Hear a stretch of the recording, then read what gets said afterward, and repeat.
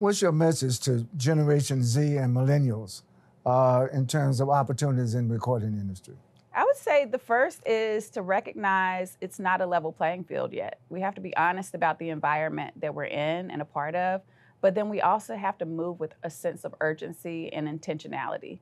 So often I think that we, you know, assume that those roles who that weren't designed for uh, for us can't be transformed and changed. And so for me, whenever I see an obstacle or something that perhaps has been traditionally for, you know, men or male dominated, I see it as actually an opportunity for me to take on that challenge and make it what it should be, which is more representative.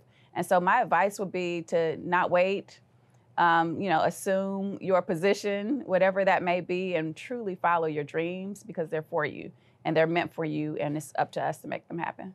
Well, you're a living example of one who started as an intern without pay to now uh, being the co boss of the recording industry.